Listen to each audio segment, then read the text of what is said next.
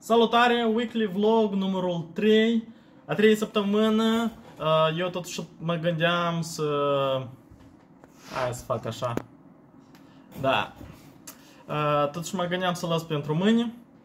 Dar uh, cu toții știm uh, vorba asta.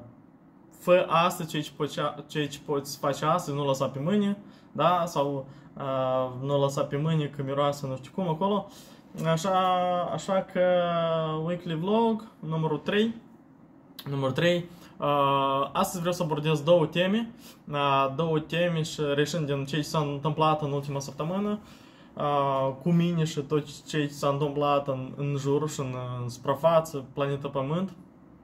Uh, două, două momente principale. Prima, uh, primul, zona de confort. Zona de confort uh, și anume am înțeles încă o dată, am înțeles și am conștientizat că ceea ce ne dorim noi, iată, noi ne dorim un punct, da?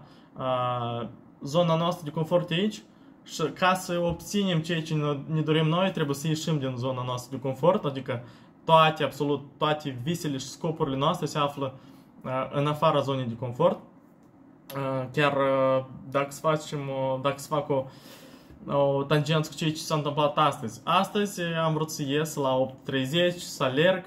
Uh, uh, pe Facebook și pe Instagram am scris că am scris că vreau să alerg și am întrebat uh, lista de prieteni cine dorește, foarte mulți.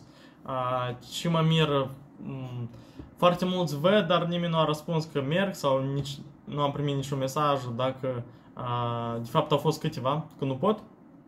De ce sper data viitoare, sper foarte mult ca să fiți mai receptivi, fiindcă atunci când alergi unul e ok, dar când alergi în echipă, când... Sorry. Când alergi mai mult de unul, tot timpul e mai interesant și cumva spiritul acesta de echipă, competitivitate, este, este mai interesant.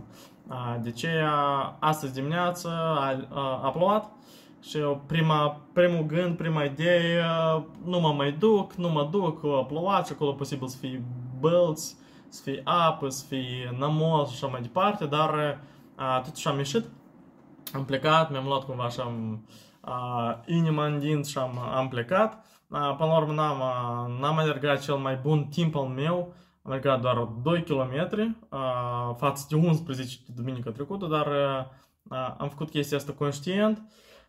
Am înțeles că mai bine astăzi fac mai puțin, dar pe viitor o să fac mai mult. Și, însă, iată, ceea ce mi-am demonstrat mie, că pot să alerg un kilometru în mai puțin de 5 minute.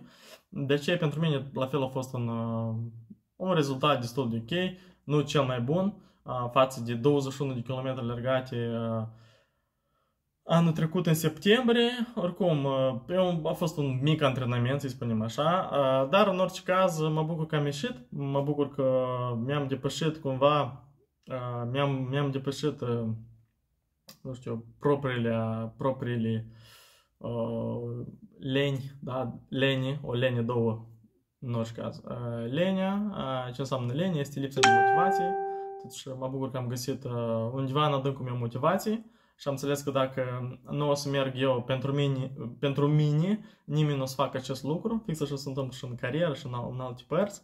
Așa că concluzia numărul 1, ceea ce îmi doresc eu se află în, în afara zonei de confort. Fix așa se întâmplă și cu persoanele care vor, vor un corp sculptat, vor un rezultat de sănătate, vor să scadă în greutate cu 5 kg, cu 10, cu 20, cu 30 nimic nu este ușor.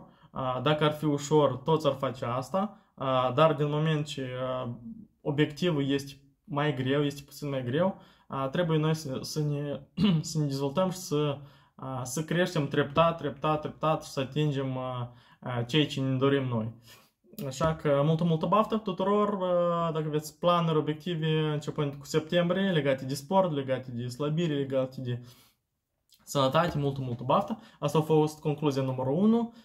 Ceea ce îmi doresc eu se află în afara zonei mele de confort. Și punctul numărul 2, având în vedere că pe 27, pe 27 august a fost ziua independenței Republicii Moldova, da? 30 de ani de la independență, 1991. 27 august. Pe această cale felicit pe toți care au împlinit 30 de ani sau care urmează să împlinească 30 de ani în acest an, fiindcă este, o, este pentru mine o sărbătoare dublă. Și îmi doresc foarte mult ca la, ca la anul să nu fie această senzație și această emoție de, nu știu, puțină puțină tristețe sau nostalgie sau melancolie că, uite, încă suntem dependenți și nu vorbesc că țara este dependentă, nu vorbesc că statul, statul Republica Moldova este, este dependent, dar vorbesc în general de, de oameni. Îmi doresc foarte mult ca ca odată cu trecerea timpului să fim uh, mai puțin dependenți de uh, circumstanțele externe, să fim mai puțin, depend, mai puțin dependenți de uh, părerile noastre, părerile, părerile din afară, să fim mai puțin dependenți de, de tot, tot, tot ce ne înconjoară, să avem proprie părere pe un anumit subiect sau altul și să ne protejăm propriile interese. Clar lucru, să acționăm doar legal și conștient și să facem lucruri care nu contravin anumitor persoane sau care nu contravin bunurilor moravuri, ordinii publice, să acționăm anume prin prisma faptului că suntem, prezentăm o anumită valoare și dacă vorbim puțin în termeni economici, cei ce vindem noi, cei ce suntem noi pe piață, reprezintă o anumită valoare. Și dacă noi ne dorim ne dorim un rezultat mai bun, trebuie să prezentăm pe piață o valoare mai mare. De ce? Iarăși, ceea ce am vorbit până acum, despre creștere, despre dezvoltare. Dacă ne dorim alte rezultate, trebuie să acționăm începând cu ziua de astăzi. Altfel, și această, aceste zile, bine, pentru alte state nu este actual, dar pentru Republica Moldova, aceste 5 zile de odihnă este un prilej foarte, foarte bun ca să stăm și să, să ne gândim la ceea ce a fost bine, ceea ce nu este chiar ok. Aceste zile este timp perfect ca să stăm mai mult cu familia.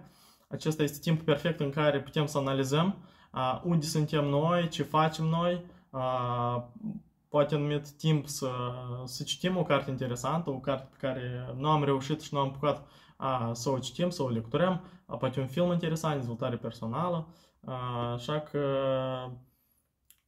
da, asta, asta ar fi a doua concluzie. Îmi doresc ca eu, în primul rând, și toți oamenii care mă, deci toți care mă înconjoară, să fie mai puțin dependenți, mai puțin dependenți de factori externi și această, această sintagmă, ziua independenței, să fie într-adevăr ziua independenței să fie pentru fiecare din noi să fie actuală, nu doar pentru statul Republica, pentru statul Republica Moldova, deși eu sunt mândru, sunt mândru că m-am născut anume aici, că această țară, mai ales pe mine, și eu am ales-o pe ea, multă, multă prosperitate tuturor, nu doar de ziua independenței, dar în fiecare zi și ceea ce am spus anterior despre faptul că să, să devenim mai puțin dependenți de de alte, alte persoane, să devenim mai puțin dependenți de părerile celor din jur, să devenim mai puțin dependenți de ce se întâmplă la, în, în tot acest spectacol, show, în mass media, în social media și așa mai departe.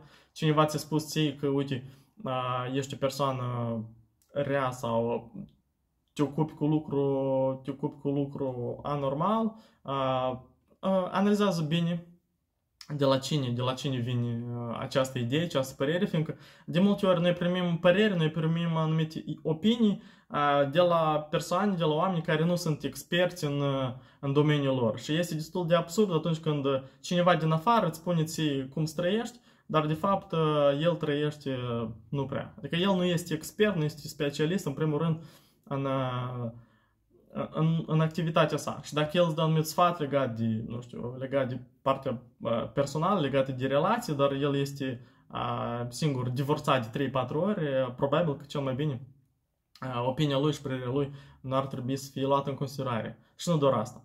A, asta cred că e valabil pentru în orice domeniu. A, cineva care îți, îți spune și îți dă sfaturi legate de anumite afaceri, legate de inițierii unei afaceri, dar de fapt el a, nu știu, a avut eșecuri în ultimii 15, 20, 30 de ani sau persoane care îți dau sfaturi, deși au 2, 3, 4 studii superioare, dar de fapt aceste studii superioare sunt doar, de fapt, așa, de pifă, ele sunt doar pe hârtie, dar, de fapt, în esență, această persoană nu reprezintă mare lucru. De ce? 1. Deci, principale două concluzii. Cei ce, noi, cei ce ne dorim noi să află în afara zonei de, deci, zone de confort și doi, haideți să devenim depend, independenți, să nu, de, să, nu, să nu fim dependenți de tot ce se întâmplă în jur, dar să devenim, să devenim independenți. Multă, multă sănătate, baftă, succes și ne, ne auzim la următoarele vloguri. Mulțumesc pentru susținere necondiționată, apăsați subscribe, comentați ce v-a plăcut, ce nu v-a plăcut, ce, ce doriți poate ca eu să mai îmbunătățesc în aceste vloguri. Multă, multă baftă! Mulțumesc că sunteți alături! Ciao!